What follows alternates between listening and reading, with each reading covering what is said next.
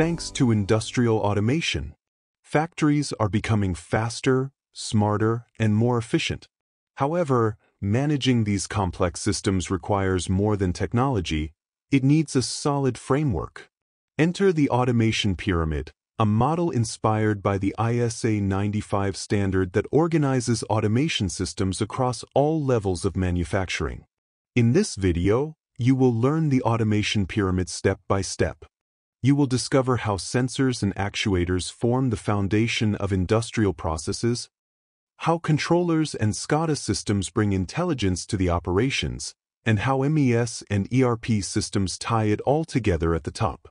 You will also understand the networks and protocols that make communication possible, the timing differences in data flow at various levels, and the common challenges engineers encounter in optimizing these systems. The automation pyramid is a five-tier framework that organizes industrial processes. Its levels are production process, sensing and manipulation, monitoring and supervision, manufacturing operation planning, and business and logistics. Let's explore each level in detail and uncover how this model transformed factories worldwide. The base level of the automation pyramid is termed the production process, marking the beginning. It incorporates actuators and measuring devices known as sensors, enabling interaction with the physical environment. On the factory floor, sensors play a critical role by collecting data from the measurement of production floor variables, and actuators are tasked with controlling the movement of machinery and keeping it aligned with the desired set points for optimal performance. This level can also include advanced equipment like inverter drives, servo motors, and robots. Inverter drives control the speed of fans and pumps by adjusting voltage and frequency, thus conserving energy and minimizing mechanical stress. Servo motors provide precise control over positioning, making them ideal for tasks requiring fine movement in automation. On the other hand, robots are programmable machines designed for complex jobs such as painting, assembly, and welding. Reaching the next level of the automation pyramid, sensing and manipulation, you encounter the indispensable contributions of PLCs and PID controllers. Their primary function includes collecting input data from measuring instruments installed at the field level. They process this data using their built-in programming to analyze the system's conditions. Subsequently, they generate control signals to guide manufacturing machinery, ensuring efficiency and accuracy to the desired set points for optimal operation. Upon reaching the third level of the automation pyramid, you encounter the monitoring and supervision phase, characterized by the extensive use of HMI and SCADA. The SCADA system relies on an easy-to-navigate graphical interface that displays real-time operational data gathered from diverse field devices installed across numerous systems. This data is centralized in an HMI within the control room, ensuring accessible process visualization. SCADA systems are also employed to fine-tune or redefine the operational parameters within PLC and PID controllers. This adjustment begins with a command issued from the SCADA platform, which then communicates directly with the designated controller. Following this, the controller assumes responsibility for overseeing and executing control over the system under its management. Software applications like Historian are essential at this level, enabling the long-term storage and systematic recording of historical process data. These tools allow for trends and anomalies analysis, supporting the continuous improvement of production methods and reducing inefficiencies. HMIs serve a crucial function at this level, as each is assigned to supervise and manage individual operational units in the manufacturing process. These devices are not limited to stationary configurations. Mobile versions also exist, enabling operators to carry them conveniently across different areas for seamless, real-time monitoring and efficient control. Moving higher on the automation pyramid, the next level represents manufacturing operation planning. At this level, the Manufacturing Execution System, commonly known as MES, plays a pivotal role. The planning department is responsible for carrying out specific crucial management tasks to ensure seamless operations. The MES enables comprehensive oversight of the entire manufacturing cycle, including everything from the initial handling of raw materials to the final stages of production, while also ensuring effective control, real-time tracking, and accurate documentation throughout the process. The MES transforms the gathered data into actionable insights, acting as an interface to streamline the creation of detailed production schedules, monitoring quality assurance processes, gathering critical operational data, managing material inventories, and executing additional essential tasks. Also, the MES provides manufacturers with the tools to thoroughly analyze how equipment and personnel are utilized, monitor their performance, and improve efficiency by reducing waste.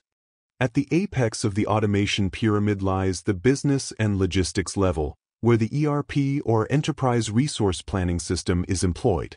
An ERP system is a collection of different interconnected software applications that collectively offer a unified, overarching view of all business processes. It helps organizations by giving them the capability to keep track of, oversee, and control every facet of their operations, including manufacturing, sales and marketing, purchasing, finance and accounting, human resources, supply chain, e-commerce, customer relationship management, project management, service asset management, etc. It's time to dedicate attention to the various communication types within the automation pyramid. Controlling and monitoring field devices safely is a key responsibility of the automation pyramid's first three levels, which use robust local industrial networks for accurate and fast data communication. The automation pyramid's upper layers, 4 and 5, typically depend on IP-based communication protocols, where standard IT functionalities become more noticeable with each step upward. Now, let's focus on the timeframes of the automation pyramid layers. The automation pyramid's foundation relies on rapid data exchange, in milliseconds or microseconds, between field devices and controllers to ensure process control and quality compliance. As you progress from level 2 to level 3, Transmission frequencies are also high, with SCADA and controllers communicating every few seconds. The primary focus of levels 1 through 3 of the automation pyramid is real-time data analysis and processing. Data is then transferred from the SCADA system to MES and back again, which occurs at intervals of minutes or hours. Level 4 has fewer storage requirements than Level 3. The data transfer between MES and ERP is done in intervals ranging from days to months, and its update speed is slower than the rate seen in levels 1 through 4. When data is updated infrequently, such as every few hours or days, there will be gaps in real-time information. Therefore, levels 3 to 5 of the automation pyramid focus mainly on historical data management. Prepare to engage with the challenges of the automation pyramid. First, the automation pyramid restricts the flow of information to adjacent levels, meaning only those directly connected to one another can share data. For instance, while Level 1 can freely exchange data with Level 2, it cannot transmit data directly to Level 3 since the two are not adjacent. Second, legacy hardware can hinder communication between older and newer components of the pyramid. For instance, a plant upgrading its controllers but using legacy equipment like old sensors or actuators might face the issue of the legacy components not connecting directly to the modern systems. Here, converters are needed to facilitate the connection, which can limit data transfer and affect system integration. Third, siloed data causes issues by restricting access to particular departments. For instance, an automation engineer in the field may need machinery performance data but cannot retrieve it instantly. The engineer must depend on manual requests or delayed responses to obtain the necessary details, leading to inefficiencies and missed chances for collaboration or timely action. Fourth in the list of automation pyramid challenges is overprocessing data. For instance, KPIs designed to evaluate manufacturing efficiency are processed initially in SCADA and then later rechecked by the production department.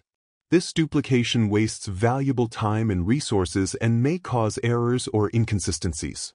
Fifth, the automation pyramid faces the issue of delayed information updates, making it difficult for management to act quickly. Without timely access to key data, response times are negatively impacted. Out of curiosity, if you could redesign the automation pyramid, what would you change or add? We'd love to hear your ideas in the comments section. Also, if you found this content helpful, please encourage us by liking the video, subscribing to our channel, and pressing the bell icon. This way, you keep motivating us to produce more informative videos.